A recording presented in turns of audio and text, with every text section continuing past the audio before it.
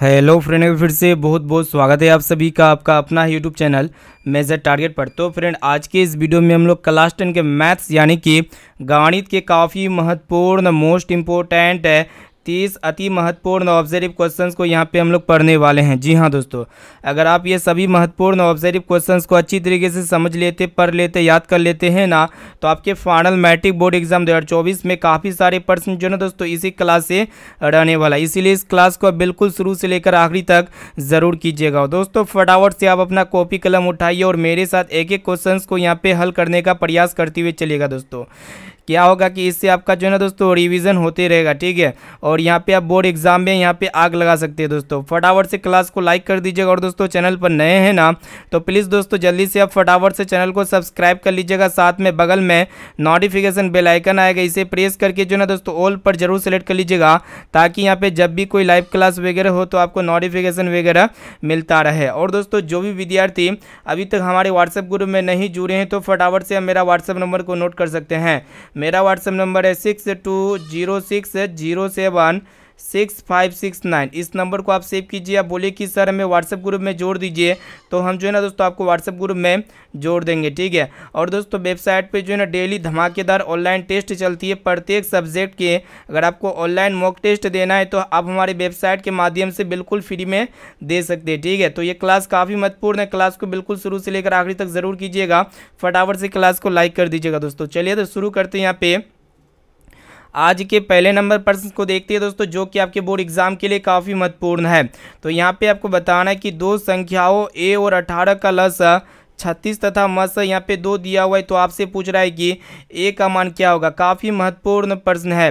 तो फ्रेंड, हम लोग जानते हैं कि दो लगातार संख्याओं का गुणनफल, यानी कि दो संख्याओं का जो गुणनफल होता है ना दोस्तों, वो क्या होता है कि लस गुना मस के गुणनफल के बराबर होता है, यानी कि एलसीएम गुना एच सी एफ़ के क्या होता है दोस्तों, गुणनफल के बराबर होता है। इसको अच्छी तरीके से याद कर लीजिएगा, ठीक है? ये आपको पता होना चाहिए। हम लोग जानते हैं दो संख्याओं का गुणनफल किसके इक्वल होते हैं? एलसीएम गुना एच के इक्वल होते हैं। तो फ्रेंड, यहाँ पे देखिएगा, पहली संख्या जो कि यहाँ पे इसकी जगह ए दिया हुआ है तो यहाँ पे ए को ऐसे नहीं दीजिएगा और दोस्तों। यहाँ पे दूसरी संख्या कितना है दोस्तों? अठारह है। तो यहाँ पे बी की जगह हम लोग कितना लिख सकते हैं? अठारह लिख सकते हैं। इसमें कोई दिक्कत वाली बात है नहीं। उसके बाद यहाँ पे देखिएगा दोस्तों, दोनों का लस यानी कि एलसीएम कितना है दोस्तों? छत्तीस दिया हुआ है। तो छत्तीस यहाँ पे लिख सकते हैं और यहाँ पे देख सकते हैं दोस्तों म से कितना दिया हुआ है? दो दिया हुआ है। तो यहाँ पे म से की जगह कितना लिखेंगे? एच सी एफ़ की जगह दो लिखेंगे, ठीक है? ये आपको पता होना चाहिए। उसके बाद हम लोग क्या करेंगे दोस्तों? यहाँ पे जो है ना, देखिएगा, अठारह जो है ना, एक के साथ गुणन गुना के फॉर्म में है, यानी कि गुना के रूप में है। तो यहाँ पे ए बराबर कितना हो जाएगा दोस्तों? ये अठारह गुना में है तो इधर आके तो बट्टे हो जाएगा, यानी कि छत्तीस गुना दो बटा कितना करेंगे दोस्तों? अठारह करेंगे, ठीक है? इसको आप काटिए। आपको पता होना चाहिए दोस्तों, यहाँ पे दो का पढ़ा में कितना बार में अठारह आता है, नौ बार में आता है, यानी कि दोनों में अठारह, ये दोनों कैंसिल हो गया, फिर यहाँ पे नौ चौका छत्तीस हो जाएगा, ठीक है? तो यहाँ पे ए का मान कितना आ गया दोस्तों? चार आ गया, ठीक है? जो कि यहाँ पे देख सकते हैं ऑप्शन सी में आपका दिया हुआ है। उम्मीद करते हैं प्रश्न आपको काफ़ी अच्छी तरीके से समझ में आ चुका होगा। बोर्ड एग्ज़ाम में ये प्रश्न जो ना दोस्तों, पूछे ही जाएँगे, इसको आप अच्छी तरीके से याद कर लीजिए, ठीक है?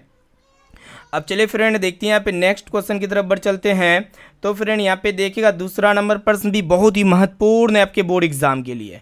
तो यहाँ पे आपको बताना है कि यदि समांतर श्रेणी का प्रथम पद यहाँ पे ए है और यहाँ पे सार्वंतर जो है ना दोस्तों डी है तो यहाँ पे आपसे पूछ रहा है कि इनके प्रथम एन पदों का योगफल क्या होगा? ठीक है तो चलिए दोस्तों, इसको हम लोग फटाफट से शानदार तरीके से समझते हैं। आपको पता होना चाहिए दोस्तों, समांतर श्रेणी का प्रथम पद जिसे हम लोग ए के द्वारा दिखाते हैं और सार्वंतर यानी कि कॉमन डिफरेंस जो होता है दोस्तों, इसको हम लोग स्मॉल डी के द्वारा दिखाते हैं। हैं और जो एन पदों का जो योगफल होता है ना दोस्तों, वो किसके इक्वल होते हैं? एन बटा two into two a plus n minus one into d के इक्वल होते हैं। यानी कि यहाँ पे सी वाला ऑप्शन जो है ना, इसका बिल्कुल ही करेक्ट आंसर हो जाएगा। इसको जो है ना अच्छी तरीके से याद कर लीजिएगा। बोर्ड एग्ज़ाम में पूछे जाएँगे। चलिए फ्रेंड देखते हैं यहाँ पे नेक्स्ट क्वेश्चन की तरफ़ बढ़ चलते हैं। आइए देखते हैं यहाँ पे तीसरा नंबर प्रश्न क्या कराए कि यहाँ पे आपको बताना है कि दो लगातार विषम संख्याओं का मसक कितना होगा? काफ़ी महत्वपूर्ण है, ठीक है? तो यहाँ पे क्या है दोस्तों? दो लगातार विषम संख्या है, यानी कि दो कर्मागत विषम संख्या का मसक एच क्या होना चाहिए? तो फ्रेंड यहाँ पे देखिएगा, दो लगातार विषम संख्या क्या क्या हो सकती है? तीन कोमा पाँच होगी, ये दो लगातार विषम संख्या है। अगर यहाँ पे ये दोनों संख्याओं का हम लोग मसक ज्ञात करेंगे तो कैसे ज्ञात करेंगे दोस्तों? भाग विधि से ज्ञात करते हैं। तो यहाँ पे देखिएगा दोस्तों, तीन का तीन हो गया। फिर यहाँ पे आपका कितना आएगा दोस्तों? शेषफल दो आ गया, ठीक है? फिर हम लोग दो को तीन से डिवाइड करेंगे, ठीक है? तो यहाँ पे एक बार में दो, एक का दो हो जाएगा, फिर यहाँ पे घटाएँगे तो एक आएगा, फिर एक को हम लोग क्या करेंगे दोस्तों? दो से डिवाइड करेंगे तो एक दुना दो हो जाएगा, ठीक है? तो यहाँ पे देख सकते हैं दोस्तों, इसका एचसीएफ यानी कि महसक कितना प्राप्त हो चुका है? दो लगातार विषम संख्याओं का महसक एक एक होता है। कितना होता है दोस्तों? एक। यानी कि यहाँ पे ए वाला ऑप्शन जो है ना, बिल्कुल ये करेक्ट आंसर हो जाएगा। ये भी प्रश्न जो है ना दोस्तों, आपके बोर्ड एग्ज़ाम के लिए बहुत ही महत्वपूर्ण है। इसलिए इसे भी जो है ना दोस्तों, अच्छी तरीके से याद कर लीजिएगा। बोर्ड एग्ज़ाम में सौ परसेंट है, पूछे जाएँगे। ठीक है एक एक क्वेश्चन को अच्छी तरीके से याद करते हुए जाना है दोस्तों। अब चलिए फ्रेंड देखते हैं यहाँ पे नेक्स्ट क्वेश्चन की तरफ़ बढ़ चलते हैं। ठीक है, चलिए देखते हैं यहाँ पे नेक्स्ट क्वेश्चन चौथा नंबर प्रश्न क्या कराएगी? यहाँ पे देखिएगा, चौथा नंबर प्रश्न है। यहाँ पे जो संख्याएँ दिया हुआ, जो आंकड़ा दिया हुआ है ना दोस्तों, इसकी माध्यिका होगी, क्या होगी? ठीक है तो सबसे पहले जब भी किसी भी संख्या की, किसी भी आंकड़ा की माध्यिका पूछेगा तो सबसे पहले उसे जो है ना दोस्तों, आप आरोही क्रम में सजाइए। ठीक है आरोही क्रम, यहाँ पे आरोही क्रम मतलब क्या होता है दोस्तों? यहाँ पे छोटा से बड़ा में से यही है। तो यहाँ पे सबसे छोटा संख्या कौन है दोस्तों? नौ है। इनमें सबसे छोटी संख्या कौन है? सात है। उसके बाद यहाँ पे कितना है दोस्तों? आठ है, ठीक है। फिर यहाँ पे आपका नौ हो जाएगा, ठीक है। फिर यहाँ पे आपका दस हो जाएगा, फिर यहाँ पे आपका ग्यारह हो जाएगा, फिर बारह हो जाएगा, फिर यहाँ पे डायरेक्टली यहाँ पे आपका कितना हो जाएगा दोस्तों? पंद्रह। ठीक है तो सबसे पहला काम आपका क्या है दोस्तों? जो भी संख्या की, जिस भी आंकड़ा की यहाँ पे आपसे माध्यिका पूछा जाए तो सभी संख्याओं को आपको आरोही क्रम में सजा देना है, सभी आंकड़ा को। हम यहाँ पे इसे आरोही क्रम में सजा चुके हैं, ठीक है? चेक कर लीजिए दोस्तों, ये सभी संख्या आरोही क्रम में है, ठीक है? उसके बाद यहाँ पे देखिएगा दोस्तों, ये समबार की विषमबार है, इसको गिनिएगा, यानी कि जो एन है ना दोस्तों, ये समबारी की विषमबार है, एक, दो, तीन, चार, पाँच, छः, सात। सात जो है ना दोस्तों विषम बार है, ठीक है? यहाँ पे एन का मान कितना आ गया दोस्तों? सात, यानी कि ये विषम बार है। ठीक है? तो यहाँ पे जब भी विषम बार आएगा तो आप क्या कीजिएगा दोस्तों, पीछे तरफ़ से, पीछे तरफ़ से दो तीन मतलब बराबर जोड़ा यहाँ पे आपको लगाना है। ठीक है? और यहाँ पे आगे तरफ़ से बराबर, यानी कि दोनों तरफ़ से यहाँ पे आपको बराबर इसको एथी करना है दोस्तों जोड़ा लगाना है। और जो जो बीच में बसता है ना दोस्तों, वही उसका क्या कहलाता है? माध्यिका कहलाता है, ठीक है? तो ये, इसका माध्यिका कितना हो जाएगा दोस्तों? दस हो जाएगा, जो कि यहाँ पे ऑप्शन ए में आपका दिया हुआ है, ठीक है? ये वाला ऑप्शन इसका जो है ना, बिल्कुल ही करेक्ट आंसर हो जाएगा। उम्मीद करते ये भी प्रश्न आपको काफ़ी अच्छी तरीके से समझ में आ चुका होगा, ठीक है? तो इसीलिए जो भी विद्यार्थी अभी तक इस क्लास को लाइक नहीं किए हैं तो प्लीज़ दोस्तों जल्दी से आप फटाफट से क्लास को लाइक करते हुए चलेगा, क्योंकि यहाँ पर डेली जो ना दोस्तों धमाकेदार, शानदार क्लास चलते रहती है, ठीक है? चलिए देखते हैं यहाँ पे नेक्स्ट क्वेश्चन की तरफ़ बढ़ चलते हैं। तो फ्रेंड यहाँ पे देखिएगा, अगला प्रश्न भी बहुत ही महत्वपूर्ण है, ठीक है? तो यहाँ पे देखिएगा दोस्तों, प्रश्न ये कराए कि आपको बताना है कि ये कोट थीटा जो ना दोस्तों, निम्न में से किसके बराबर होता है, ठीक है? तो आपको पता होना चाहिए दोस्तों कोट थीटा का एक फॉर्मूला होता है, इसको अच्छी तरीके से याद कर लीजिएगा। कोट थीटा बराबर क्या होता है दोस्तों? यहाँ पे देखिएगा कोस थीटा बटा साइन थीटा होता है। क्या होता है? कोस थीटा बटा साइन थीटा होता है आपका कोट थीटा बराबर, ठीक है? तो यहाँ पे देखिएगा कौन सा ऑप्शन में दिया हुआ है। ऑप्शन बी में आपका दिया हुआ है, ठीक है? इसी में एक प्रश्न ये भी पूछे आते हैं कि टेन थीटा बराबर क्या होते हैं दोस्तों? तो टेन थीटा बराबर क्या होते हैं? साइन थीटा बटा क्या होते हैं दोस्तों? साइन थीटा बटा कोस थीटा होते हैं, ठीक है? इसको अच्छी तरीके से याद कर लीजिएगा। बोर्ड एग्ज़ाम के लिए बहुत ही बहुत ही महत्वपूर्ण है, ठीक है? चलिए देखते हैं यहाँ पे नेक्स्ट क्वेश्चन की तरफ़ बढ़ चलते हैं। तो फ्रेंड, यहाँ पे देखिएगा अगला प्रश्न भी काफ़ी महत्वपूर्ण है। यहाँ पे आपको बताना है कि बहुपद y square minus six y plus आठ का यहाँ पे क्या पूछ रहा है दोस्तों? घात पूछ रहा है। ठीक है तो जब भी यहाँ पे घात यानी कि पावर पूछा जाए तो आप उस वहाँ पे क्या कीजिएगा दोस्तों? पहले यहाँ पे देखिएगा कौन सा बहुपद है? द्विघात बहुपद है, ठीक है? तो यहाँ पे क्या है दोस्तों? वाई स्क्वायर है, माइनस सिक्स वाई है और यहाँ पे प्लस आठ है, ठीक है? तो जब भी यहाँ पे कोई भी बहुपद दिया हो है और उसका घात पूछा जाए तो जो हाईएस्ट पावर होता है ना दोस्तों, बहुपद का, वही उसका क्या कहलाता है? घात कहलाता है। तो इस बहुपद का जो हाईएस्ट पावर है हाईएस्ट पावर कितना है दोस्तों? दो है। यानी कि y की घात दो दो है और यहाँ पे y की घात एक है। तो यहाँ पे हाईएस्ट पावर कितना हुआ दोस्तों? दो हुआ। तो इसीलिए इस बहुपद का घात कितना का, होगा दोस्तों? दो होगा, जो कि यहाँ पे ए ऑप्शन भी दिया हुआ है, ठीक है? यानी कि ए वाला ऑप्शन जो है ना, इसका बिल्कुल ही करेक्ट आंसर हो जाएगा, ठीक है? ये प्रश्न आपके बोर्ड एग्ज़ाम के लिए काफ़ी महत्वपूर्ण है, ठीक है? चलिए देखते हैं यहाँ पे नेक्स्ट क्वेश्चन की तरफ़ बढ़ चलते हैं। तो फ्रेंड यहाँ पे देखिएगा, सातवां नंबर प्रश्न जो कि बोर्ड एग्ज़ाम के लिए बहुत ही महत्वपूर्ण है। इसलिए जो भी विद्यार्थी अभी तक इस क्लास को लाइक नहीं किए तो क्लास को लाइक कर कर दीजिएगा दोस्तों। तो फ्रेंड यहाँ पे क्या करा है कि सेक स्क्वायर पैंतालीस डिग्री माइनस दो का वैल्यू क्या होगा, ठीक है? तो यहाँ पे देखिएगा, ध्यानपूर्वक, यहाँ पे कितना है दोस्तों? सेक स्क्वायर पैंतालीस डिग्री है, ठीक है? माइनस दो है। तो सबसे पहले आपको पता होना चाहिए कि सेक पैंतालीस डिग्री का वैल्यू कितना होता है। तो आप कहेंगे, सर रूट दो होता है। तो यहाँ पे हम लोग सेक पैंतालीस डिग्री की जगह रूट दो लिख सकते हैं और इसका स्क्वायर है तो इसका स्क्वायर कर देंगे, ठीक है? माइनस दो कर देंगे। उसके बाद यहाँ पे देखिएगा दोस्तों स्क्वायर से रूट कैंसिल हो जाएगा तो बचेगा कितना? दो बचेगा, माइनस कर देंगे, फिर यहाँ पे दो। तो यहाँ पे दो में दो घटा कितना होगा दोस्तों? ज़ीरो हो जाएगा, जो कि यहाँ पे ऑप्शन बी में आपका दिया हुआ है। इसीलिए यहाँ पे बी वाला ऑप्शन जो है इसका बिल्कुल ही करेक्ट आंसर हो जाएगा, ठीक है? उम्मीद करते प्रश्न आपको अच्छी तरीके से समझ में आ चुका होगा। चलिए देखते हैं यहाँ पे नेक्स्ट क्वेश्चन की तरफ़ बढ़ चलते हैं। तो फ्रेंड यहाँ पे देखिएगा, अगला प्रश्न जो कि काफ़ी महत्वपूर्ण भी प्रश्न बोर्ड एग्ज़ाम के लिए। तो इसको अच्छी तरीके से देखिएगा दोस्तों, ध्यानपूर्वक। यहाँ पे क्या करा है कि दो पासे एक साथ उछाले गए तो दोनों पर एक ही संख्या आने की प्रायिकता क्या होगी? ठीक है, बोर्ड एग्ज़ाम में पूछे जाते हैं इस तरह के प्रश्न। तो यहाँ पे आपसे कह रहा है कि दो पासा है उसको एक साथ एक साथ जो है ना दोस्तों उछाला गया है। और दोनों पासा पर जो है ना दोस्तों एक ही अंक, एक ही संख्या आने की प्रायिकता क्या होनी चाहिए, ठीक है? बोर्ड एग्ज़ाम के लिए बहुत बहुत महत्वपूर्ण है, ठीक है? तो फ्रेंड, आपको पता होना चाहिए, जो पासा होता है दोस्तों, उसमें क्यों गो फेस होता है, छः गो फेस होता है ना? तो यहाँ पे आपको फॉर्मूला पता होना चाहिए दोस्तों मतलब प्रायिकता ज्ञात करने के लिए, ठीक है? तो यहाँ पे की पी की जो प्रायिकता होती है ना दोस्तों पी की प्रायिकता किसके बराबर होती है? देखिएगा दोस्तों एन ई की प्रायिकता बटे एन एस की प्रायिकता। इसको अच्छी तरीके से देखिएगा दोस्तों, क्या होता है? एन ई की प्रायिकता बटे एन एस की प्रायिकता। तो यहाँ पे हम आपको पहले फॉर्मूला बताते हैं। तो प्रायिकता को हम लोग कैसे ज्ञात करते हैं? प्रायिकता जो होती है ना दोस्तों, ये यहाँ पे क्या होती है कि अनुकूल संभावना एन ई की प्रायिकता क्या होगी दोस्तों, इसे हम लोग अनुकूल संभावना कहते हैं। और एन एस की जो प्रायिकता है ना दोस्तों, ये कुल संभावना है, ठीक है? तो यहाँ पे देखिएगा साइड में हम आपको बताते हैं। तो यहाँ पे जो पासा होते हैं दोस्तों, इसमें क्या गो फ़ेज़ होते हैं? छः गो फ़ेज़ होते हैं। यानी कि यहाँ पे एनी की संभावना, कहने का अर्थ है कि कुल अनुकूल संभावना जो है ना दोस्तों, एनी का मान कितना हो जाएगा दोस्तों? एनी का मान हो जाएगा आपका छः क्योंकि जो पासा होते हैं, उसमें क्यों गो फ़ेज़ होते हैं? छः गो फ़ेज़ होते हैं, ठीक है? इक्का, दुक्का, फिर यहाँ पे तीसरा, चौथा, पाँचवा, छठा, ये सब होता है, ठीक है? आपको पता होना चाहिए। तो यहाँ पे दोनों पर एक ही गो संख्या आने की प्रायिकता क्या होगी? ठीक है, यहाँ पे हम देखिएगा दोस्तों, जो पहला पासा है उसमें क्या क्या हो सकती है? एक हो सकती है दो या तो दो आ सकती है या तो तीन आ सकते हैं या तो फिर चार आ सकती है या, या तो फिर पाँच आ सकती है या फिर छः आ सकते हैं ठीक है? या आपका पहला पासा में आ सकते हैं। उसी प्रकार यहाँ पे दूसरा पासा में भी क्या आ सकते हैं? या तो एक आ सकते हैं दोनों में से या तो तीन या फिर चार या फिर पाँच या फिर छः आ सकते हैं ठीक है? ये दोनों में से दोनों में से कोई एक अंक आएगा ठीक है? मतलब दोनों दोनों मतलब पासे में से कोई एक ही अंक एक ही बार आ सकता है। ठीक है, यहाँ पे क्या करा है कि दोनों पर एक ही संख्या आने की प्रायिकता क्या होगी? तो यहाँ पे अगर एन एस पूछा जाए तो यहाँ पे एन एस का वैल्यू कितना आ जाएगा दोस्तों? यहाँ पे देखिएगा, इसमें छः गो है और इसमें छः गो है। तो यहाँ पे छः का स्क्वायर कर दीजिए तो छः छः छत्तीस हो जाएगा, ठीक है?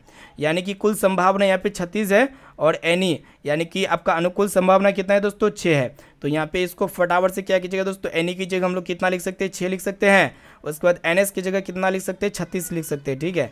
उसके बाद यहाँ पे आप लोग क्या कीजिएगा, इसको काटिए, इसको सोल्व कीजिए छः छः छत्तीस हो जाएगा छः का छः छः छः छत्तीस।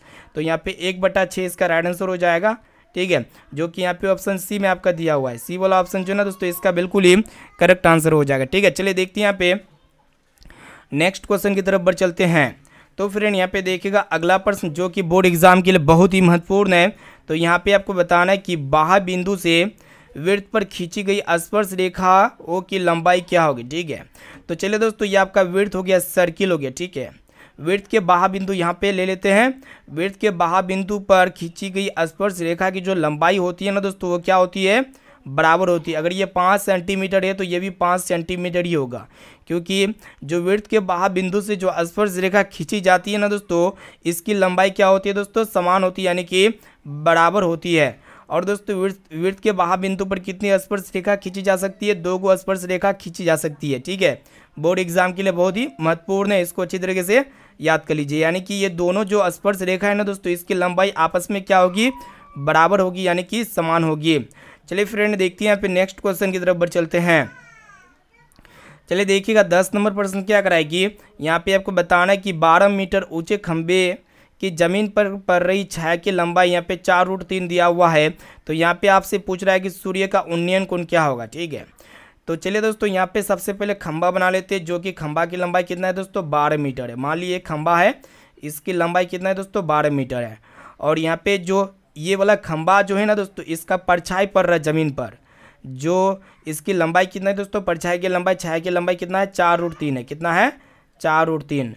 ठीक है? और यहाँ पे आपसे पूछ रहा है कि सूर्य का उन्नयन कोण क्या होगा? ठीक है? सूर्य का उन्नयन कोण यहाँ पे आपसे पूछ रहा है। तो एक प्रकार का ट्रेंगल बन गया, त्रिभुज बन गया। ठीक है? तो फ्रेंड यहाँ पे जो उन्नयन कोण होता है ना दोस्तों, नीचे से ऊपर की ओर होता है, ठीक है?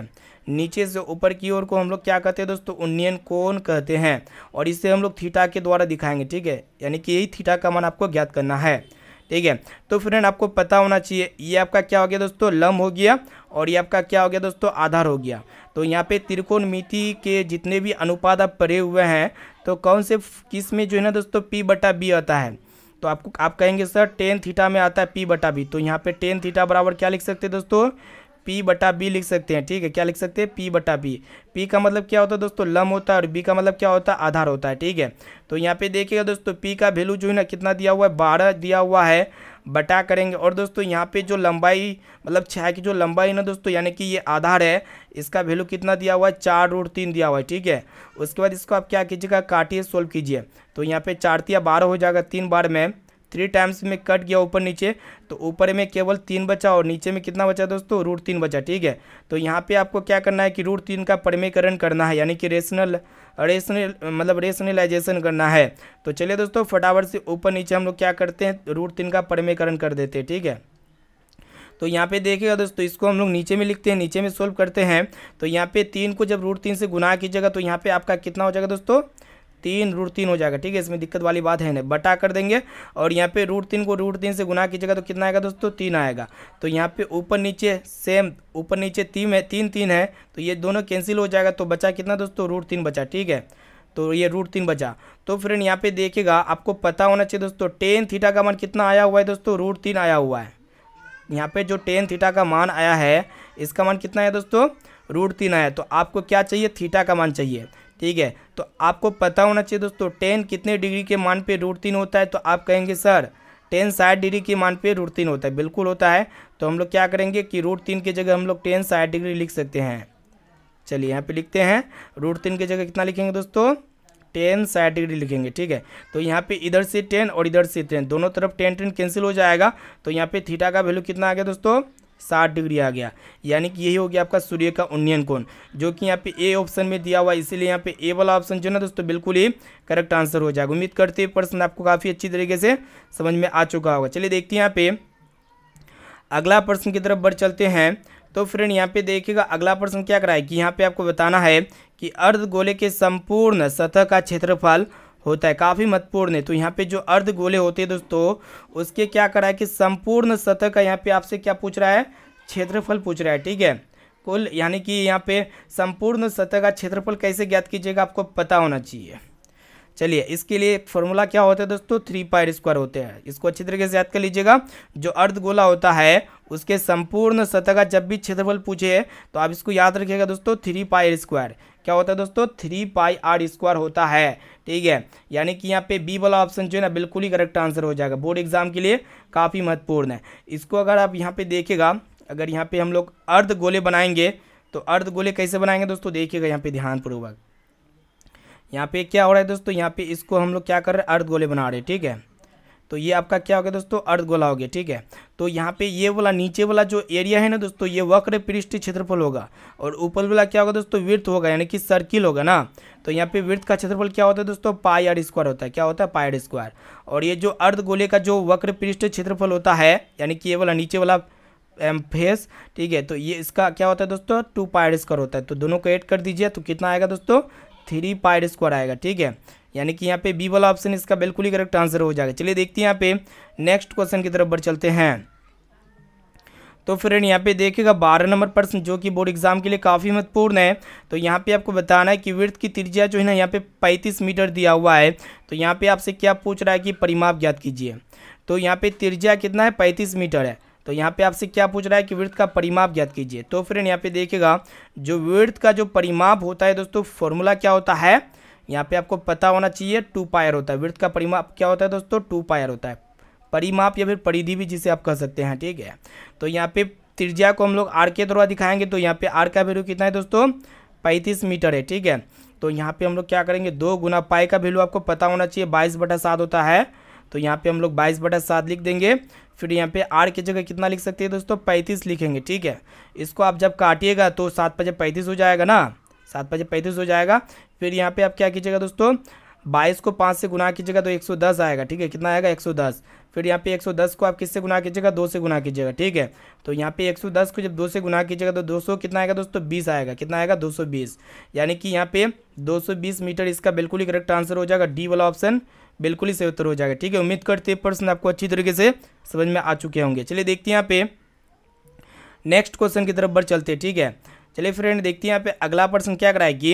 यहाँ पे देखिएगा, यहाँ पे आपको बताना है कि निम्न में से कौन जो है ना दोस्तों, कौन सा परिमेय संख्या यहाँ पे आपको क्या बताना है कि निम्न में से कौन सा परिमेय संख्या परिमेय है?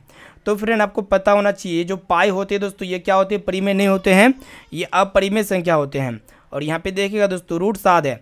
तो रूट सात क्या होते हैं दोस्तों? अपरिमेय संख्या होती है, परिमेय संख्या नहीं होती, क्योंकि सात जो है ना दोस्तों, किसी का वर्गमूल नहीं होता है। यानी कि ये रूट से बाहर निकलेगा ही नहीं। अगर यहाँ पे ऑप्शन सी को भी चेक कर लेते हैं तो ये रूट सोलह बटा पच्चीस है। तो बहुत सारे विद्यार्थी क्या कहते हैं, इसको गलत सोच लेते हैं कि परिमेय संख्या तो नहीं है, ठीक है? यानी कि अपरिमेय संख्या है। तो आपको ऐसा नहीं करना है दोस्तों, यहाँ पे क्या कीजिएगा, इसको पहले सोचिए, अब इसको सोल्व कीजिए। तो यहाँ पे रूट सोलह किसका इसका रूट होता है? चार का होता है। तो यहाँ पे ऊपर में चार दे सकते हैं, और यहाँ पे नीचे में पच्चीस है तो पच्चीस को ऐसे छोड़ दीजिए, इसको कुछ मत कीजिए, ठीक है? इसी प्रकार यहाँ पे क्या है दोस्तों? तीन रूट तीन बटा रूट दो। तो यहाँ पे तीन रूट तीन बटा रूट दो है। तो देखिएगा यहाँ पे ऊपर नीचे कटेगा भी नहीं और यहाँ पे कोई भी वर्गमूल से, यहाँ पे वर्गमूल चिन्ह से बाहर नहीं निकलता है। तो ये भी क्या होगा दोस्तों? अपरिमेय संख्या होगा। लेकिन ये चार बटे पच्चीस क्या है दोस्तों? परिमेय संख्या, क्योंकि ये बटे के फॉर्म में है, ठीक है? चलिए देखते हैं यहाँ पे नेक्स्ट क्वेश्चन की तरफ़ बढ़ चलते, ठीक है? चलिए फ्रेंड, देखते हैं यहाँ पे अगला प्रश्न की तरफ़ बढ़ चलते, जो कि काफ़ी महत्वपूर्ण है। यहाँ पे आपको बताना कि समांतर श्रेणी तीन बटा चार, कोमा पाँच बटा चार, कोमा सात बटा चार और यहाँ पे नौ बटा चार का यहाँ पे आपसे क्या पूछ रहा है कि सारांतर क्या होगा? तो सारांतर को हम लोग क्या कहते हैं दोस्तों? कॉमन डिफरेंस कहते हैं, जिसे हम लोग डी के द्वारा दिखाएँगे, ठीक है? तो सारांतर कैसे ज्ञात करते हैं? आपको कुछ नहीं करना है दोस्तों, दूसरा पद में पहला पद को घटा देना है, ठीक है? यानी कि दूसरा पद को हम लोग ए टू के द्वारा दिखाते हैं और पहला पद को ए वन के द्वारा दिखाते हैं। तो यहाँ पे देखिएगा दोस्तों, जो पहले में हो आपका क्या होगा दोस्तों? पहला पद होगा और ये दूसरा जो है ना दोस्तों ये यहाँ पे सेकंड नंबर पे जो होगा वो आपका क्या होगा दोस्तों? दूसरा पद होगा ठीक है? तो इसका सारा सारांतर ज्ञात करना है। तो यहाँ पे ए टू की जगह कितना लिख सकते हैं? पाँच पाँच बटा चार लिख सकते इस, इसमें कोई दिक्कत वाली बात है ना माइनस करेंगे और दोस्तों यहाँ पे ए वन की जगह कितना लिख सकते हैं? तीन बटा चार लिख सकते हैं ठीक है? इसमें कोई दिक्कत वाली बात है ना और देखिएगा यहाँ पे चार चार दोनों जगह सेम है तो नीचे में हम लोग क्या कर सकते हैं? चार लिख सकते हैं। और यहाँ पे ऊपर में यहाँ पे पाँच माइनस तीन डायरेक्ट क्लिक कर देंगे, ठीक है? क्योंकि यहाँ पे हरों का एल्सियम यानी कि यहाँ पे क्या है दोस्तों? हर समान है। फिर यहाँ पे पाँच में तीन गया, कितना आएगा दोस्तों? दो आएगा, और नीचे में चार है तो इसको ऐसे छोड़ दीजिए। इसको आप काटिए, ऊपर नीचे दो एक का दो दो दुना चार हो जाएगा। तो यहाँ पे कितना आ गया दोस्तों? इसका वैल्यू एक बटा दो आ गया सारवंतर ठीक है?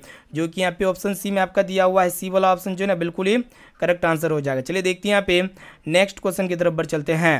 काफ़ी महत्वपूर्ण प्रश्न है दोस्तों। यहाँ पे आपको बताना है कि किसी घटना ई e के लिए मतलब यहाँ पे पी e की प्रायिकता प्लस पी नहीं होने की प्रायिकता, यानी कि पी डेस ई की मतलब पी ई डेस की प्रायिकता का योग कितना होगा? देखिएगा, काफ़ी महत्वपूर्ण। यहाँ पे घटना होने की प्रायिकता है और यहाँ पे घटना नहीं होने की प्रायिकता है, ठीक है? इसका जो योग होता है ना दोस्तों, एक होता है, क्योंकि हम लोग जानते हैं कि घटना होने की प्रायिकता प्लस घटना नहीं होने की प्रायिकता का जो योग होता है दोस्तों, कितना होता है? एक होता है, ठीक है? इसीलिए यहाँ पे बी वाला ऑप्शन जो है इसका बिल्कुल ही करेक्ट आंसर हो जाएगा। चलिए देखते हैं यहाँ पे नेक्स्ट क्वेश्चन की तरफ़ बढ़ चलते हैं। सोलह नंबर प्रश्न को देखिएगा, जो कि काफ़ी महत्वपूर्ण है। यहाँ पे आपको बताना है कि दो समरूप त्रिभुजों के क्षेत्रफलों का अनुपात सोलह, अनुपात इक्यासी है। और यहाँ पे आपसे पूछ रहा है कि भुजाओं का अनुपात क्या होगा, ठीक है? यहाँ पे आपसे क्या पूछ रहा है? भुजा का अनुपात क्या होगा? यहाँ पे जब भी दो त्रिभुज समरूप होता है, उसके एरिया का यहाँ पे रेशियो कितना है दोस्तों? सोलो रेशियो इक्यासी दिया हुआ है। और यहाँ पे जब भी आपसे पूछा जाए कि इसके भुजाओं का अनुपात क्या होगा तो आप इसे कैसे सोल्व कीजिएगा दोस्तों? काफ़ी महत्वपूर्ण है।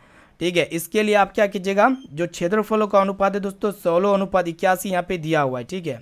इसमें कोई दिक्कत वाली बात है नहीं। और यहाँ पे भुजाओं का अनुपात पूछ रहा है तो आप क्या कीजिएगा, कि दोनों के ऊपर यहाँ पे आप करनी चढ़ा दीजिए रूट चढ़ा दीजिए। तो फिर यहाँ पे सोलह जो है ना, किसका इसका रूट होता है, चार का होता है। फिर यहाँ पे क्या करेंगे रेशियो देंगे। और दोस्तों, ये क्या से किसका इसका रूट होता है, नौ का होता है। तो चार रेशियो नाइन इसका राइट आंसर हो जाएगा, जो कि यहाँ पे ऑप्शन सी में आपका दिया हुआ है, ठीक है। अगर यहाँ पे भुजाओं का अनुपात दिया हुआ रहता और आपसे क्षेत्रफलों का अनुपात पूछता और दोनों त्रिभुज क्या होता, समरूप होता तो इसके लिए आप लोग क्या कीजिएगा? इस दोनों का स्क्वायर कर दीजिएगा, ठीक है? यानी कि यहाँ पे सी वाला ऑप्शन जो है इसका बिल्कुल ही करेक्ट आंसर हो जाएगा। उम्मीद करते हैं पर्सन आपको काफ़ी अच्छी तरीके से समझ में आ चुका होगा, ठीक है? चलिए देखते हैं यहाँ पे नेक्स्ट क्वेश्चन की तरफ़ बढ़ चलते हैं। तो फ्रेंड यहाँ पे देखिएगा, सत्रह नंबर प्रश्न क्या कराए कि यहाँ पे आपको बताना है कि आठ सेंटीमीटर भुजा वाले वर्ग का क्षेत्रफल ज्ञात करें। क्या करना है दोस्तों? यहाँ पे जो भुजा है दोस्तों, आठ सेंटीमीटर दिया वो वर्ग का। और यहाँ पे आपसे पूछ रहा है कि वर्ग का क्षेत्रफल ज्ञात करें। काफ़ी महत्वपूर्ण है मोस्ट इंपॉर्टेंट है, ठीक है? इसको चलिए फटाफट से शानदार तरीके से सोल्व करते हैं, ठीक है? हम लोग जानते हैं दोस्तों, वर्ग का जो क्षेत्रफल होता है ना दोस्तों, वो क्या होता है? भुजा स्क्वायर होता है। भुजा को हम लोग एक के द्वारा दिखाएँगे, यानी कि ए का स्क्वायर कर देंगे दोस्तों। और यहाँ पे जो भुजा है दोस्तों, इसका वैल्यू कितना है दोस्तों? ए बराबर आठ सेंटीमीटर है, क्योंकि हम लोग भुजा को एक के द्वारा दिखाते हैं, और वर्ग का क्षेत्रफल क्या होता है? ए स्क्वायर यानी कि भुजा स्क्वायर होता है। तो यहाँ पे ए की जगह हम लोग क्या इतना लिख सकते हैं? आठ लिख सकते हैं। आठ का स्क्वायर कर दीजिए सिंपली तो आठ का स्क्वायर कितना होता है दोस्तों? सोलह होता है। इसलिए यहाँ पे देखिएगा आठ का स्क्वायर, आठ आठ चौंसठ होगा दोस्तों। कितना होगा? चौंसठ। तो यहाँ पे चौंसठ इसका बिल्कुल ही करेक्ट आंसर हो जाएगा, जो कि देख सकते हैं ऑप्शन ए में आपका दिया हुआ है, ठीक है? मोस्ट इंपॉर्टेंट प्रश्न है आपके बोर्ड एग्ज़ाम के लिए। चलिए फ्रेंड देखते हैं यहाँ पे नेक्स्ट क्वेश्चन की तरफ़ बढ़ चलते हैं। देखिएगा, यहाँ पे काफ़ी महत्वपूर्ण है। यहाँ पे आपसे पूछ रहा है कि दो पासों को एक साथ फेंका जाता है। दोनों पासों पर पाँच अंक आने की प्रायिकता क्या होगी? ठीक है, फटाफट से इसको शानदार तरीके से कैसे हल करेंगे? इसको देखिएगा स्टेप बाय स्टेप ठीक है? बोर्ड एग्ज़ाम के लिए बहुत ही महत्वपूर्ण है बोर्ड एग्ज़ाम के लिए प्रश्न है ठीक है? तो फ्रेंड यहाँ पे देखिएगा कि जो पी की जो प्रायिकता होती है दोस्तों पी की प्रायिकता प्रायिकता बराबर क्या होता है? एन ई की प्रायिकता बटे एन एस की प्रायिकता होती है, यानी कि एन ई बटा एन एन एस होता है। एन ई बटा क्या होता है दोस्तों? एन एस होता है ना? यानी कि अनुकूल प्रायिकता बटे यहाँ पे कुल प्रायिकता, ठीक है? यहाँ पे क्या है दोस्तों? अनुकूल प्रायिकता बटे कुल प्रायिकता। इसका मतलब यही होता है ना? अनुकूल संभावना बटे कुल संभावना। यानी कि अनुकूल परिणामों की संख्या और यहाँ क्या होता है दोस्तों? कुल परिणामों की संख्या होता है। तो चलिए इसको हम लोग फटाफट से सोल्व करते हैं। तो फ्रेंड यहाँ पे ध्यानपूर्वक देखिएगा, अनुकूल संभावना जो है ना दोस्तों? यहाँ पे सबसे पहले हम लोग कुल संभावना को देखते हैं। कुल संभाव कुल संभाव कुल संभावना को हम लोग एन एस के द्वारा दिखाएँगे। और दोस्तों, जो पासा होते हैं ना, उसमें के को फेस होते हैं छः को फेस होते हैं। यानी कि जो पासा होते हैं, उसमें क्या को फेस होते हैं छः को फेस यानी कि यहाँ पे कुल संभावना कितना हो गया दोस्तों? छः हो गया, ठीक है? उसके बाद देखिएगा यहाँ पे जो पासा, दोनों पासा पर एक ही को अंक आने की प्रायिकता क्या होगी? यानी कि एक ही को अंक आएगा दोस्तों? पाँच आने की प्रायिकता क्या होगी? यानी कि आपका यहाँ पे एन ई का मान कितना दिया हुआ दोस्तों? एक दिया हुआ है। यहाँ पे एन मतलब एन का मान कितना दिया हुआ है? एक दिया हुआ है। और यहाँ पे एन एस एन एस का जो वैल्यू होगा ना दोस्तों छः का स्क्वायर कर देंगे। क्योंकि यहाँ पे दो गो पास है, इसीलिए यहाँ पे छः का स्क्वायर किया है तो छः का स्क्वायर जब होगा दोस्तों, कितना हो जाएगा? छः छः छत्तीस हो जाएगा ना? तो यहाँ पे एन एस का मतलब होता है कुल कुल संभावना। और एन का मतलब होता है अनुकूल संभावना, ठीक है? तो चलिए दोस्तों, यहाँ पे देखिएगा एन का मान कितना दिया हुआ है? एक दिया हुआ है। और यहाँ पे एन एस का मान कितना दिया हुआ है? छत्तीस दिया हुआ है, ठीक है? तो एक बटा छत्तीस इसका बिल्कुल ही करेक्ट आंसर हो जाएगा, जो कि यहाँ पे बी ऑप्शन में दिया हुआ है, ठीक है? चलिए देखते हैं यहाँ पे नेक्स्ट क्वेश्चन की तरफ़ बढ़ चलते हैं। तो फ्रेंड यहाँ पे देखिएगा, अगला प्रश्न जो कि काफ़ी महत्वपूर्ण है, उन्नीस नंबर प्रश्न भी काफ़ी महत्वपूर्ण है। यहाँ पे आपको बताना है कि कोसेक नब्बे degree minus theta into sine नब्बे डिग्री माइनस थीटा जो है दोस्तों, ये किसके बराबर हो वही आपको बताना है, ठीक है? तो चलिए फटाफट से शानदार तरीके से इसको हल करते हैं। तो आपको पता होना चाहिए दोस्तों कोसेक नब्बे डिग्री माइनस थीटा एक किसके इक्वल होते हैं? सेक थीटा के इक्वल होते हैं, आपको पता होना चाहिए। हम लोग जानते हैं फॉर्मूला को यहाँ पे लिखते हैं पहले दोस्तों, यहाँ पे देखिएगा कि कोसेक नब्बे डिग्री माइनस जो थीटा होते हैं ना दोस्तों, ये किसके इक्वल होते हैं? सेक थीटा के इक्वल होते हैं, ठीक है? सेक थीटा के इक्वल होते हैं। और एक फॉर्मूला होता है दोस्तों साइन नब्बे डिग्री माइनस थीटा। फॉर्मूला क्या होते हैं कि साइन नब्बे डिग्री माइनस थीटा जो होते हैं ना दोस्तों, ये किसके इक्वल होते हैं? कोस थीटा के इक्वल होते हैं, ठीक है? तो यहाँ पे देखिएगा कि साइन नब्बे डिग्री माइनस थीटा की जगह कितना लिख सकते हैं? कोस थीटा लिख सकते हैं, इसमें कोई दिक्कत वाली बात है नहीं, ठीक है? तो फ्रेंड यहाँ पे देखिएगा कि सेक थीटा को हम लोग क्या लिख सकते हैं? एक बटा कोस थीटा लिख सकते हैं? एक बटा cos theta into cos theta तो यहाँ पे क्या होगा दोस्तों? कोस थीटा से कोस थीटा कैंसिल हो जाएगा तो कितना आएगा दोस्तों? एक आएगा। या फिर sec theta into cos theta जो होते हैं ना दोस्तों, ये डायरेक्टली एक के बराबर होते जो कि यहाँ पे ए ऑप्शन में दिया हुआ है। ए वाला ऑप्शन जो है ना, इसका बिल्कुल ही करेक्ट आंसर हो जाएगा। चलिए देखते हैं यहाँ पे नेक्स्ट क्वेश्चन की तरफ़ बढ़ चलते हैं। तो फ्रेंड यहाँ पे देखिएगा, अगला प्रश्न भी बहुत ही महत्वपूर्ण है। यहाँ पे आपको बताना है कि यदि ए बी सी किसी त्रिभुज के कौन हो तो यहाँ पे आपसे पूछ रहा है कि साइन बी प्लस सी बटा टू किसके बराबर होगा? ठीक है। तो चलिए फटाफट से शानदार तरीके से इसको हम लोग हल करते हैं ना। तो यहाँ पे आपको पता होना चाहिए दोस्तों, जो त्रिभुज होते हैं ना त्रिभुज में क्या कौन होते हैं? तीन को होते हैं। देखिएगा यहाँ पे। त्रिभुज के तीनों कोनों का योग कितना होता है दोस्तों? नब्बे डिग्री होता है तो इसको हम लोग लिख सकते हैं, A plus B plus C बराबर एक सौ, सॉरी त्रिभुज के तीनों कोनों का योग कितना होता है दोस्तों? एक सौ अस्सी डिग्री होता है, ठीक है? यानी कि A plus B plus C बराबर कितना लिख सकते हैं? एक सौ अस्सी डिग्री लिख सकते हैं। तो यहाँ पे आपसे क्या पूछ रहा है कि बी प्लस सी बटा टू का मान क्या होगा? एक काम करते हैं कि ए को जो है दोस्तों, नब्बे की तरफ़ भेज सकते हैं। इसको बाद में भेजेंगे। तो सबसे पहले यहाँ पर आप क्या कीजिए, सबसे पहले वो काम कीजिए कि दोनों तरफ़ जो है ना दोस्तों, किससे डिवाइड कीजिएगा? दो से डिवाइड कीजिएगा, ठीक है? तो यहाँ पे आपका हो जाएगा दोस्तों, A plus B plus C बटा टू कर दीजिए, ठीक है? और यहाँ पे आप क्या कीजिएगा दोस्तों, एक सौ अस्सी बटा टू कर दीजिए, इसमें कोई दिक्कत वाली बात है ना फिर यहाँ पे आप क्या कीजिएगा दोस्तों, यहाँ पे इसको काटिए, यहाँ पे नब्बे दुना कितना हो जाएगा, एक सौ अस्सी डिग्री हो जाएगा। यहाँ पे एक सौ अस्सी डिग्री क्यों दिए? क्योंकि त्रिभुज के तीनों कोनों का कितना होता है? एक सौ अस्सी डिग्री होता है, ठीक है? तो यहाँ पे एक वो काम कीजिएगा, यहाँ पे एक और काम कीजिएगा। ये तीनों को जो है ना दोस्तों, बटे में दो दे दीजिए, ठीक है? क्योंकि यहाँ पे सभी के बटे में दो छिपा हुआ है तो यहाँ पे बी पल बी बटा टू यहाँ पे हो जाएगा दोस्तों सी बटा टू ये तीनों किसके इक्वल हो जाएगा? नब्बे डिग्री के इक्वल हो जाएगा। एक काम करते हैं ए बटा टू है ना, इसको नब्बे की तरफ़ भेज दीजिएगा। तो यहाँ पे आपका बी प्लस सी बटा टू कर दीजिए।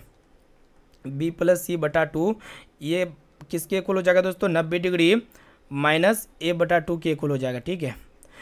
हम उसके बाद क्या करेंगे कि दोनों तरफ़ जो है ना दोस्तों, साइन लेंगे। दोनों तरफ़ क्या लेंगे? साइन लेंगे, ठीक है? तो चलिए यहाँ पे साइड में छोटा छोटा करके लिखते हैं। तो यहाँ पे आपका हो जाएगा दोस्तों sine sine B plus C sine B plus C बटा टू ये किसके इक्वल हो जाएगा दोस्तों? साइन नब्बे डिग्री माइनस ए बटा टू ठीक है? बटा टू।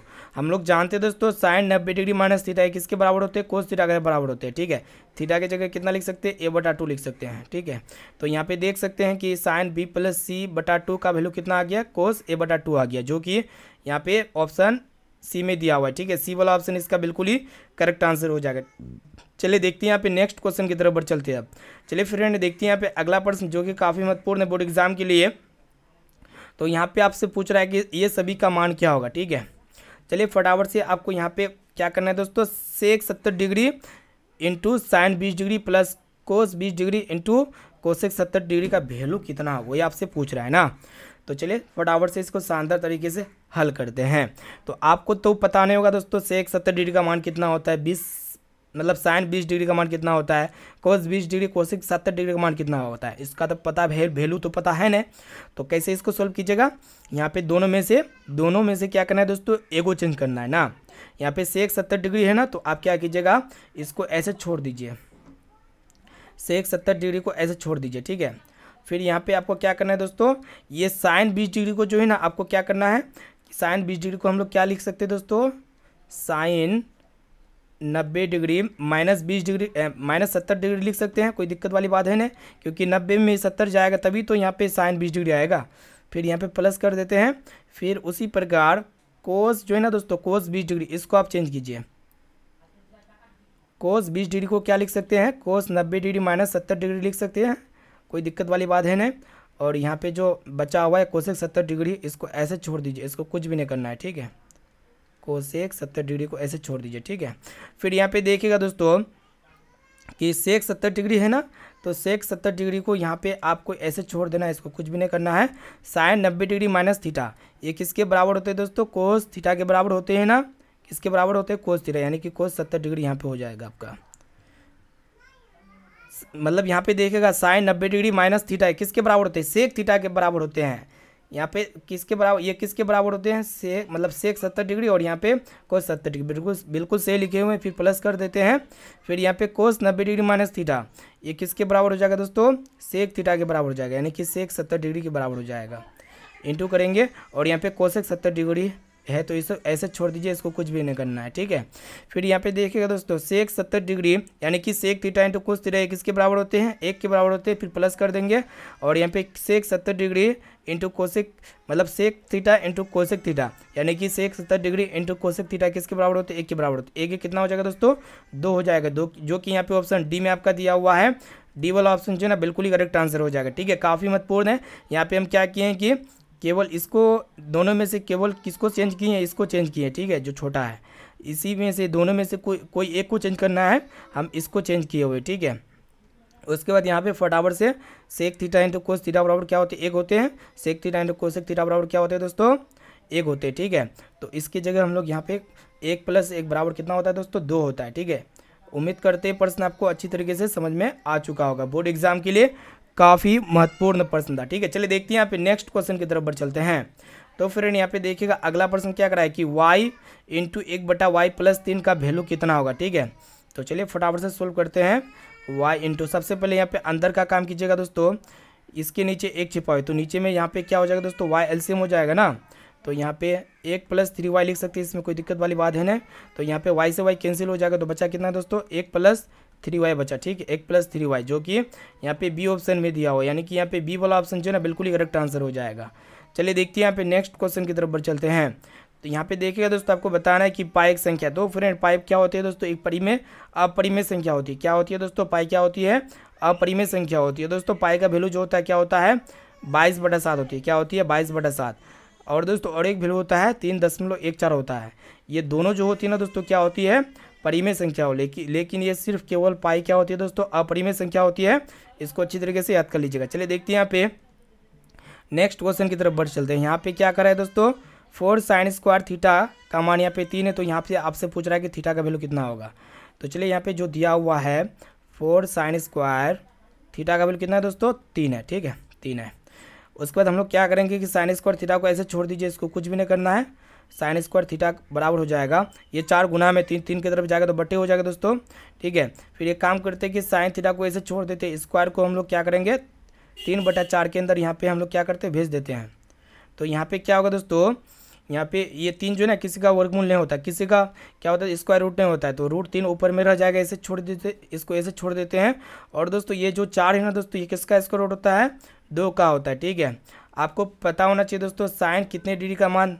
रूट तीन बटा दो होता है तो आपको पता ये होना चाहिए कि साइन कितने डिग्री का मान होता है दोस्तों? साठ डिग्री का मान होता है, ठीक है? तो यहाँ पे क्या होगा कि साइन से साइन कैंसिल हो गया तो यहाँ पे थीटा का मान कितना आ गया दोस्तों? साठ डिग्री आ गया। तो देख सकते हैं यहाँ पे साठ डिग्री कौन सा ऑप्शन में दिया हुआ है? ऑप्शन नंबर डी में दिया हुआ है, ठीक है? उम्मीद करते हैं प्रश्न आपको काफ़ी अच्छी तरीके से समझ में आ चुका होगा, ठीक है? चलिए देख अब बढ़ चलते हैं नेक्स्ट क्वेश्चन की तरफ़, ठीक है? क्लास को बिल्कुल आप शुरू से लेकर आखिर तक ज़रूर कीजिएगा दोस्तों, और यहाँ पे जो भी विद्यार्थी अभी तक क्लास को लाइक नहीं किए हैं तो फटाफट से क्लास को लाइक भी करते हुए चलिए। यहाँ पे देखिएगा, किसी भी बेलन का व्यास यहाँ पे जो है ना दोस्तों, अट्ठाईस सेंटीमीटर दिया हुआ, इसकी ऊंचाई ऊंचाई कितना है? बीस सेंटीमीटर है। तो यहाँ पे आपसे पूछ रहा है कि इसका संपूर्ण पृष्ठ क्षेत्रफल याद कीजिए, ठीक है? तो चलिए फटाफट से सोल्व करते इसको। तो फ्रेंड, यहाँ पे देखिएगा व्यास को हम लोग डी के द्वारा दिखाते हैं, और डी का वैल्यू कितना है दोस्तों? अट्ठाईस सेंटीमीटर है, ठीक है? तो सबसे पहले हम लोग क्या करेंगे? तिरजा को निकाल लेते हैं। तिरजा क्या होता है दोस्तों? व्यास का आधा होता है, यानी कि यहाँ पे अट्ठाईस बटा टू कर देंगे तो कितना आएगा दोस्तों? चौदह सेंटीमीटर आएगा, ठीक है? तिरजा निकल चुका है। फिर यहाँ पे देखिएगा एगो चीज़, इसकी ऊंचाई कितना है दोस्तों? बीस सेंटीमीटर दिया हुआ है। ऊंचाई कितना है दोस्तों? बीस सेंटीमीटर यानी कि एच का वैल्यू कितना है दोस्तों? यहाँ पे बीस सेंटीमीटर एक काम करते हैं, हम लोग फॉर्मूला को लगाते हैं। मतलब बेलन का संपूर्ण पृष्ठ का क्षेत्रफल का फॉर्मूला क्या होता है दोस्तों? Two pi r into r plus h होता है, ठीक है? इंटू आर प्लस एच होता है। तो यहाँ पे देखिएगा, ध्यान से टू ए टू टू को ऐसे छोड़ दीजिए, पाई का वैल्यू कितना होता है दोस्तों? बाईस बटा सात होता है तो बाईस बटा सात को ऐसे रहने दीजिए। और यहाँ पे आर की जगह, जो कि अभी अभी हम लोग याद कीजिए, चौदह आया हुआ है, इंटू कर देते हैं, आर प्लस एच, यानी कि चौदह प्लस कितना हो जाएगा दोस्तों? एच की जगह बीस लिख सकते हैं, कोई दिक्कत वाली बात है नहीं। ठीक है तो यहाँ पे देखिएगा इसको काटिए करता है तो यहाँ पे सात दुना चौदह हो जाएगा, बाईस दुना चवालीस दुना कितना हो जाएगा दोस्तों? अट्ठासी हो जाएगा, ठीक है? अट्ठासी गुना इन दोनों को जोड़िए, बीस प्लस चौदह कितना हो जाएगा दोस्तों? चौंतीस हो जाएगा। फिर चौंतीस को जब अट्ठासी से गुना कीजिएगा तो कितना आएगा? आपको पता होना चाहिए दोस्तों, उन्नीस बिरानबे आएगा, कितना आएगा? उन्नीस बिरानबे उनतीस बिरानबे आएगा, कितना आएगा? उनतीस बिरानबे जो कि यहाँ पे देख सकते हैं कौन सा ऑप्शन में है। ऑप्शन बी में आपका दिया हुआ, इसलिए बी वाला ऑप्शन इसका बिल्कुल ही करेक्ट आंसर हो जाएगा। चलिए देखते हैं यहाँ पे नेक्स्ट क्वेश्चन की तरफ़ बढ़ चलते हैं। यहाँ पे देखिएगा दोस्तों, अगला प्रश्न क्या कराएगी यहाँ पे आठ की पावर क्या है दोस्तों? ज़ीरो है। इंटू दो की पावर क्या है दोस्तों? ज़ीरो है। का वैल्यू क्या होगा? ठीक है। तो देखिएगा दोस्तों, दुनिया में कोई भी संख्या है और इसके ऊपर अगर शून्य पावर रहता है, घात शून्य रहता है तो उसका मान कितना होता है दोस्तों? एक होता है। तो उसी प्रकार जो आठ के बराबर ज़ीरो इसका वैल्यू एक हो जाएगा। और दोस्तों, यहाँ पे दो के बराबर जो ज़ीरो ज़ीरो है, इसका वैल्यू कितना आ जाएगा? एक हो जाएगा। तो यहाँ पे एक को एक से गुना कीजिएगा तो कितना होगा दोस्तों? एक आएगा, जो कि यहाँ पे ऑप्शन ए में आपका दिया हुआ ए वाला ऑप्शन बिल्कुल ही करेक्ट आंसर हो जाएगा इसका। चलिए देखते हैं यहाँ पे नेक्स्ट क्वेश्चन की तरफ़ बढ़ चलते हैं। तो फ्रेंड यहाँ पे देखिएगा, अगला प्रश्न यहाँ पे आपको बताना है कि एक को परिमेय संख्या के रूप में लिखे ठीक है? तो चलिए दोस्तों, परिमेय संख्या के रूप में इसको लिखते हैं। तो यहाँ पे एक दशमलव तीन चार है। ये क्या है दोस्तों? इसका दशमलव प्रसार शांत है। तो इसको हम लोग इजिली परिमेय संख्या के रूप में लिख सकते हैं। तो ये शांत दशमलव प्रसार है। तो सिंपली यहाँ पे हम लोग पॉइंट को उड़ाएँगे तो इसके बदले में हर में एक आएगा दोस्तों पॉइंट के बदले में। और यहाँ पे पॉइंट के बाद कितना आएँगे दोस्तों? दो आएँगे। तो इसके बदले में दो को यहाँ पे ज़ीरो लिख सकते हैं। इसको आप काटिए दोस्तों। यहाँ पे पचास गुना कितना हो जाएगा? एक सौ हो जाएगा। फिर यहाँ पे दो का बारह और दो सात चौदह। यानी कि सड़सठ बटा कितना हो जाएगा दोस्तों? पचास हो जाएगा, ठीक है? कितना आएगा? सड़सठ बटा पचास। इसका बिल्कुल ऑप्शन नंबर डी जो है ना, बिल्कुल ही करेक्ट आंसर हो जाएगा। चलिए देखते हैं यहाँ पे नेक्स्ट क्वेश्चन की तरफ़ बढ़ चलते हैं। तो फ्रेंड, यहाँ पे क्या है कि समीकरण दिया हुआ है और यहाँ पे वाई का मान आपसे पूछ रहा है ना? तो चलिए दोस्तों, यहाँ पे जो समीकरण दिया हुआ है, क्या समीकरण दिया हुआ है? Two x plus three y बराबर पाँच है, ठीक है? और यहाँ पे x का वैल्यू दिया हुआ है कितना? एक। तो यहाँ पे x की जगह, x की जगह कितना लिख सकते हैं दोस्तों? एक लिख सकते हैं, फिर प्लस कर देंगे, ठीक है? और थ्री वाई बराबर आपका क्या हो जाएगा दोस्तों पाँच। दो को एक से गुना कीजिएगा तो दो होगा। दो को पाँच की तरफ़ भेजिए तो यहाँ पे थ्री वाई बराबर हो जाएगा दोस्तों पाँच माइनस दो, ठीक है? तो एक काम करते हैं, थ्री वाई को ऐसे छोड़ देते हैं, पाँच में दो कितना हो जाएगा? तीन हो जाएगा। फिर यहाँ पे वाई वाई की जगह कितना लिख सकते हैं दोस्तों, तीन बटा तीन, यानी कि एक हो जाएगा इसका राइट आंसर ठीक है? तीन तीन का तीन ये दोनों कैंसिल हो जाएगा तो एक होगा ना? ऑप्शन नंबर डी इसका बिल्कुल ही करेक्ट आंसर हो जाएगा, ठीक है? चलिए, उम्मीद करते हुए प्रश्न आपको काफ़ी अच्छी तरीके से समझ में आ चुका होगा। चलिए, देखते हैं यहाँ पे नेक्स्ट क्वेश्चन की तरफ़ बढ़ चलते हैं। तो फ्रेंड यहाँ पे त्रिभुज ए बी सी एक समकोण त्रिभुज है, जिसमें कौन जो है ना दोस्तों सी जो है ना नब्बे डिग्री है तो यहाँ पे आपसे पूछ रहा है कि कोस ए प्लस बी का वैल्यू क्या होगा, ठीक है? बहुत ही शानदार प्रश्न है। यहाँ पे सबसे पहले हम लोग क्या करेंगे, एक त्रिभुज को ड्रॉ कर लेते हैं कुछ इस प्रकार, ठीक है? तो फ्रेंड यहाँ पे देखिएगा ध्यानपूर्वक कि त्रिभुज मतलब यहाँ पे ये सी जो है ना दोस्तों नब्बे डिग्री है। कौन सी कितना है दोस्तों? नब्बे डिग्री है, ठीक है? इनके अलावा ये आपका ए हो गया दोस्तों और ये आपका बी हो गया। ये दोनों क्या है दोस्तों? न्यून कौन है, ठीक है? न्यून कौन तो होगा ही, क्योंकि जब त्रिभुज का तीन कोनों का कितना होता है? एक सौ अस्सी डिग्री होता है। जब एगो कौन यहाँ पे क्या है दोस्तों? नब्बे डिग्री पहले ही बोल दिया है तो ए और बी क्या होगा? न्यून कौन होगा ना? नब्बे डिग्री से छोटा होगा, तभी तो यहाँ पे एक सौ अस्सी पूरेगा ठीक है? तो हम लोग क्या करेंगे दोस्तों? त्रिभुज ए बी सी में यहाँ पे लिख देते हैं, इसको सॉल्व करते हैं। यहाँ पे त्रिभुज एबीसी में, त्रिभुज एबीसी में कौन सी का जो वैल्यू है दोस्तों, ये कितना है दोस्तों? नब्बे डिग्री है। पहले से है नब्बे डिग्री उसमें कोई दिक्कत वाली बात है ना तो यहाँ पे आपसे क्या पूछ रहा है कि कोस ए प्लस बी का मान क्या होगा? तो चलिए, हम लोग इसको ज्ञात कैसे करेंगे? तो सबसे पहले आपको पता होना चाहिए दोस्तों, त्रिभुज के तीनों कोनों का योग कितना होता है? एक सौ अस्सी डिग्री होता है, ये सभी को पता होना चाहिए, ठीक है? तो यहाँ पे हम लोग क्या लिख सकते हैं? एक सौ अस्सी डिग्री लिख सकते हैं। हमको कौन सी का खाली मान पता है? तो हम लोग क्या करेंगे दोस्तों ए प्लस बी को ऐसे छोड़ देंगे और कौन सी को है ना दोस्तों, एक सौ अस्सी के तरफ़ भेज देंगे तो माइनस में हो जाएगा, यानी कि एक सौ अस्सी डिग्री माइनस नब्बे डिग्री हो जाएगा, ठीक है? एक वो काम यहाँ पे और एक वो करेंगे, पहले घटा दीजिए दोस्तों, यहाँ पे ए प्लस बी बराबर कितना हो जाएगा दोस्तों, नब्बे डिग्री हो जाएगा, ठीक है? हम लोग यहाँ पे एक और काम करेंगे, क्या करेंगे दोस्तों, दोनों तरफ़ कोस लेंगे, ठीक है? दोनों तरफ़ कोस लेंगे, क्योंकि हमें कोस ए प्लस बी का ही मान ज्ञात करना है। तो यहाँ पे हो जाएगा दोस्तों कोस ए प्लस बी बराबर कोस नब्बे डिग्री, ठीक है? तो फ्रेंड यहाँ पे आपको पता होना चाहिए कि कोस नब्बे डिग्री का वैल्यू कितना होता है, वो पता होना चाहिए। कोस ए प्लस बी बराबर कोस नब्बे डिग्री का मान कितना होता है दोस्तों? ज़ीरो होता है। कितना होता है? ज़ीरो डिग्री, जो कि यहाँ पे देख सकते हो ऑप्शन ए में आपका दिया हुआ यानी कि यहाँ पे ए वाला ऑप्शन जो ना, बिल्कुल ही करेक्ट आंसर हो जाएगा। चलिए देखते हैं यहाँ पे नेक्स्ट क्वेश्चन की तरफ़ बढ़ चलते हैं। तो फ्रेंड यहाँ पे देखिएगा लास्ट नंबर प्रश्न जो कि काफ़ी महत्वपूर्ण है। यहाँ पे 144 के अभाज्य गुणनखंड में यहाँ पे आपसे क्या पूछ रहा है कि दो का घातांक क्या होगा, ठीक है?